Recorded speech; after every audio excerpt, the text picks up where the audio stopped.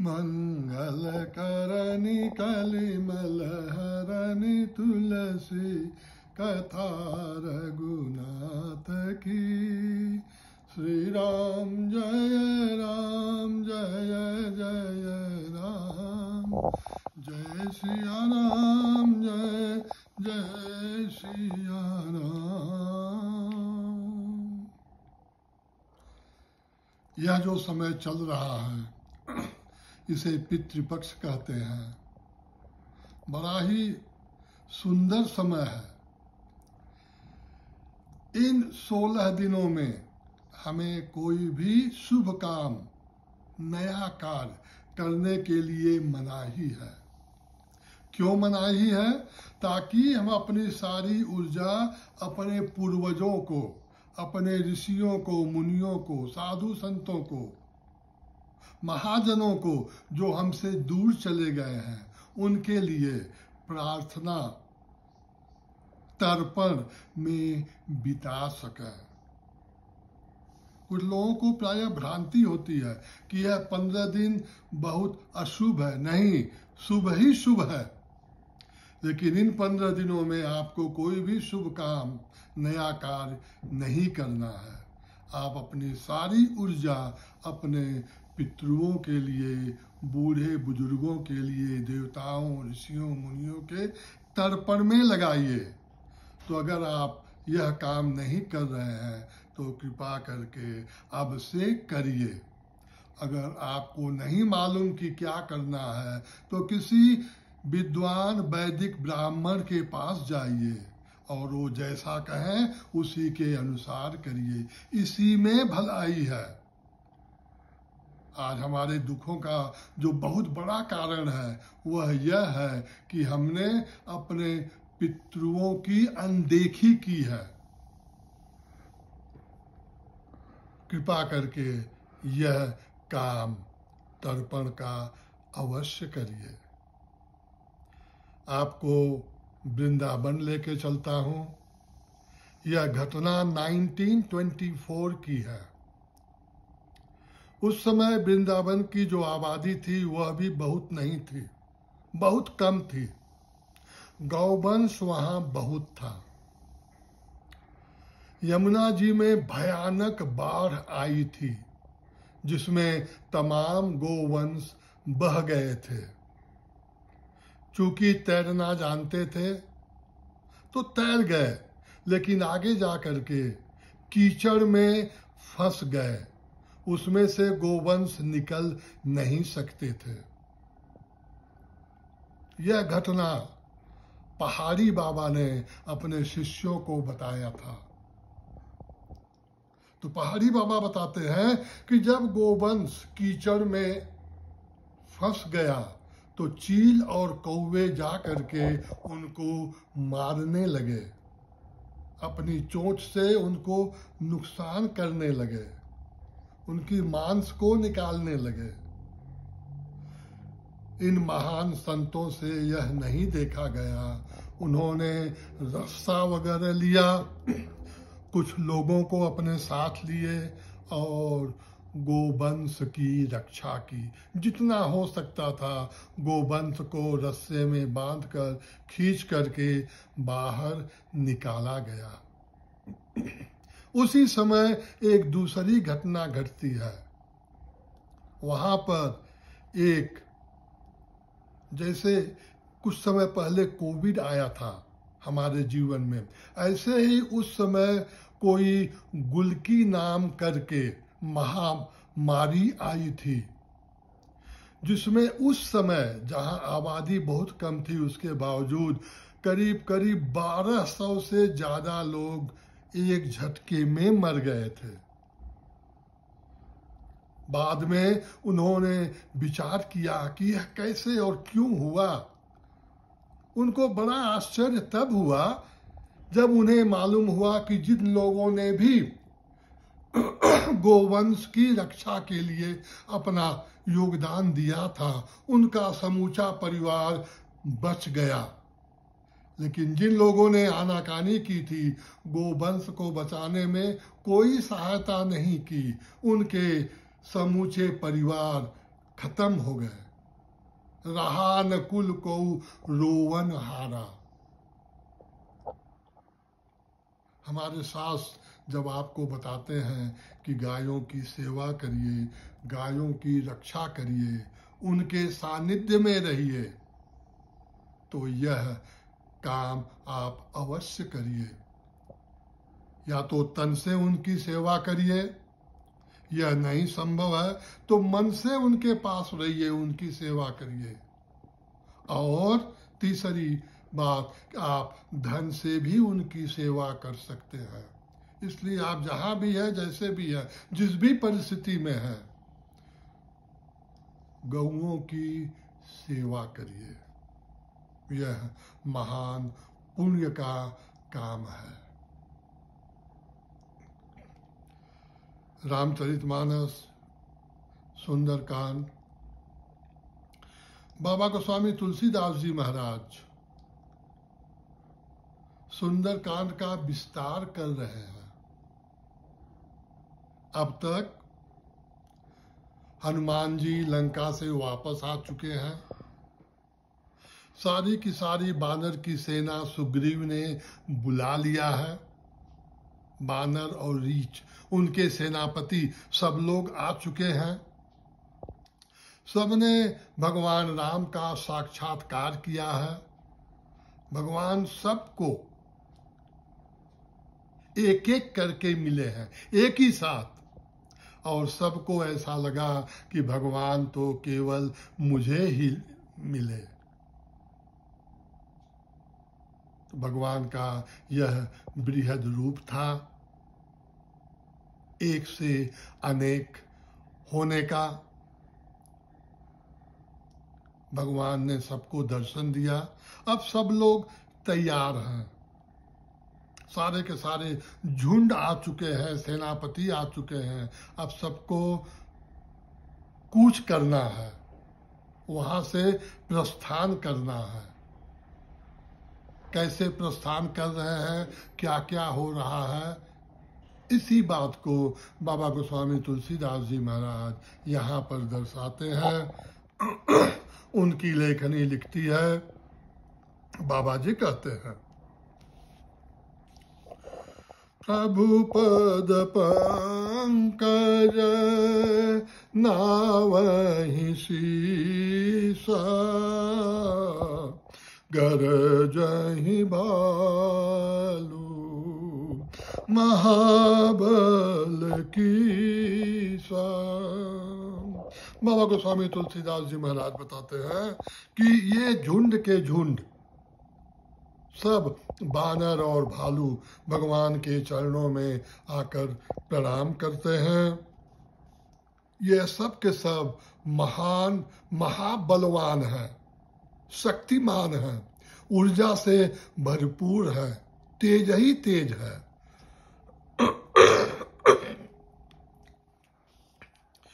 देखी राम सकल कपि सेना,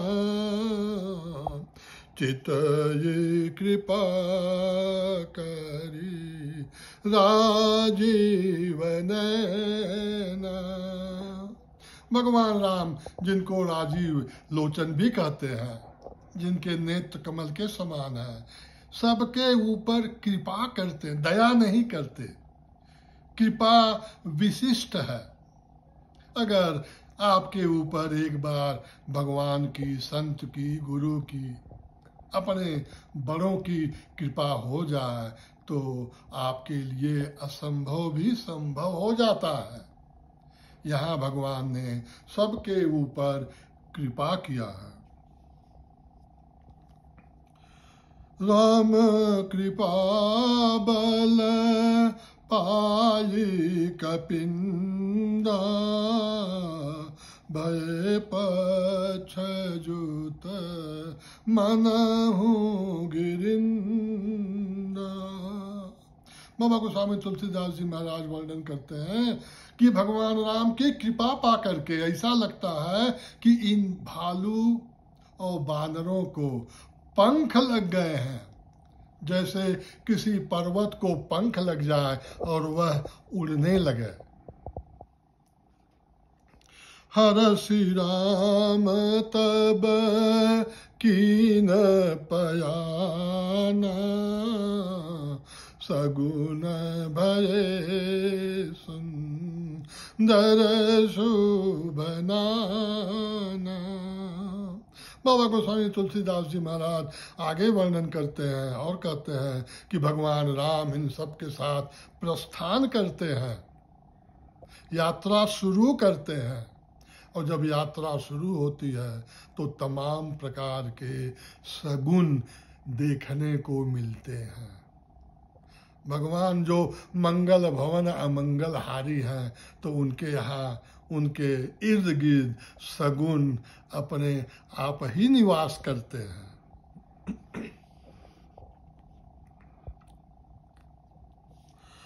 जासु सकल मंगलमय कीति तासु पयान। सगुन नीति जो भगवान राम मंगलों से पूर्ण है, भरपूर है, उनके साथ यह जो सगुन है, यह क्यों नहीं चलेंगे? यह उनकी नीति है।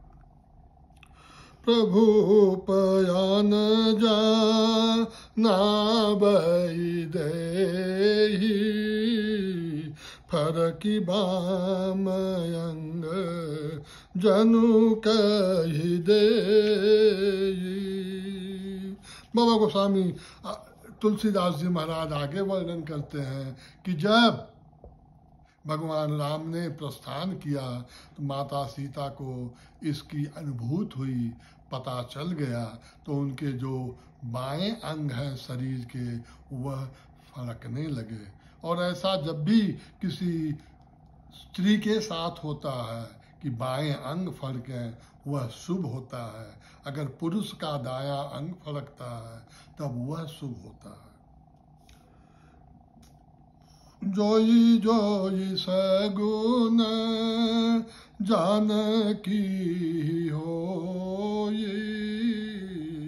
असगुन भय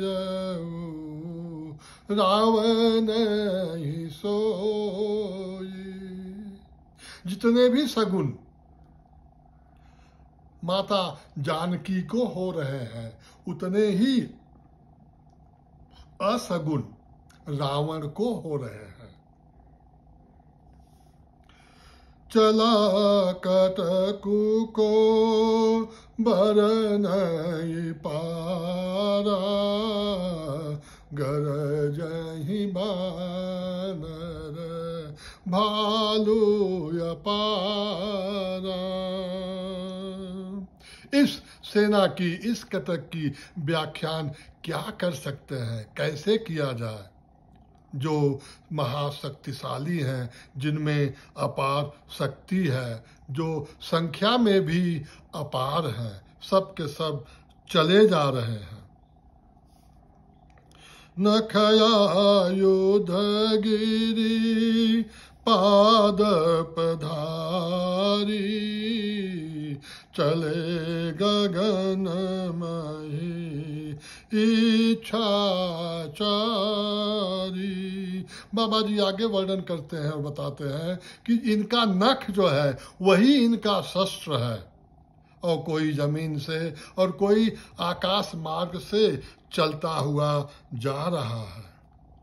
के हरिनाद भालू कपि करही डगमगाही दे, गज करही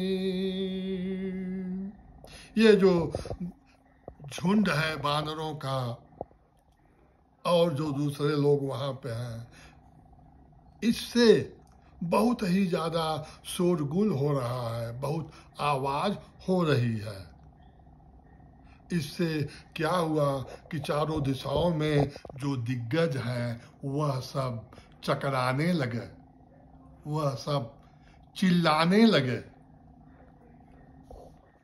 करही दी गज डोल मई गिरी, लोल सागर कर भरे। मन हरस सब गंधर्व सुर मुनि, नाग किन्नर दुख टरे। अब जब भगवान राम की सेना जा रही है, भगवान राम जा रहे हैं, सुग्रीव जा रहे हैं, लक्ष्मण जी जा रहे हैं जामवंत साथ में जा रहे हैं। तो संपूर्ण ब्रह्मांड, इसमें जो भी देवी, देवता, ग्रह, नक्षत्र सब के सब बहुत प्रसन्न हो रहे हैं। किन्नर हैं, वह भी बहुत प्रसन्न हो रहे हैं। कट कत हिमर कत बिकट भट बहु, कोटि कोटिन धावही।